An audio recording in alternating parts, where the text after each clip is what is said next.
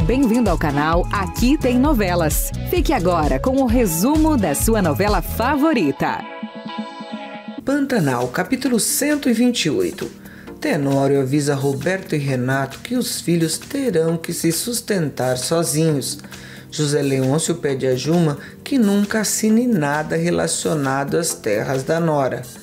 Por pouco, Tenório não flagra Marcelo e Guta juntos.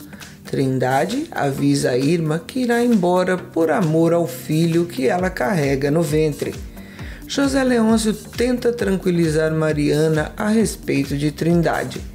Zuleika e Tenório discutem.